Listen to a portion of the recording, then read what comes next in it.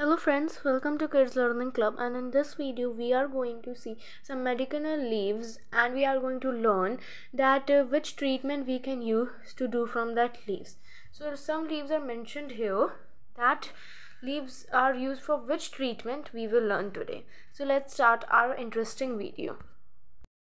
First one is balsam leaves. So balsam leaves is used to cure it is ringworm ringworm and eczema. Eczema. Now second one is betel leaves. Betel leaves is used uh, to cure healing of wounds. Healing of wounds on our body. And third one is our bitter gourd leaves and it is used for asthma to cure asthma and our fourth one is cabbage leaves. Yes cabbage leaves is used for curing the fungal skin infections. Fungal skin infections. Infections. Next one comes our cashew leaves Yes, the cashew leaves are used for curing our toothache. Tooth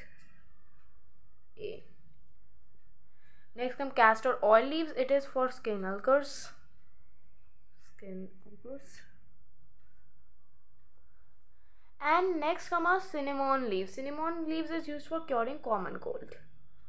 Common cold next next comes our drumstick leaves drumstick we eat as a vegetable but its leaves is used for curing cough and diarrhea cough and diarrhea Next comes our eucalyptus leaves. Eucalyptus leaves is used for curing eczema. As balsam leaves are also used for curing eczema and ringworm, but eucalyptus leaves are used for curing eczema okay now next comes our lemon grass leaves. Lemon grass leaves is used for curing mild depressant of central nervous system.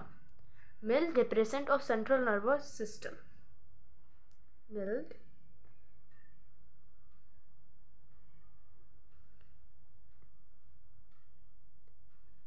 of central nervous system yes next our last one comes our mango leaves. It is used for curing night blindness. Night blindness. Blindness. So these were some leaves and their uh, their treatment for which diseases they are used for. So please subscribe our channel kids learning club and like this video. And please watch kid learning club's gk soul to be aware with the gk journal knowledge every day. Thank you